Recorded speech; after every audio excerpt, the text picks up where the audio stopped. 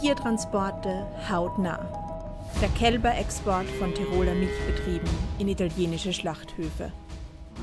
Die beiden Kälber, Marie und Annie, waren bereits stundenlang unterwegs, als diese Aufnahmen entstanden sind.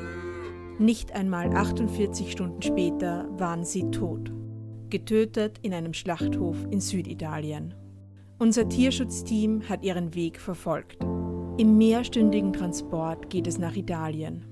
Marie und Annie werden erst um fast 4 Uhr morgens in einem Wartestall abgeladen. Ihre Odyssee hat noch kein Ende. Sie werden erneut verladen und weitere 11,5 Stunden zu einem Schlachthof südlich von Neapel in Süditalien gebracht.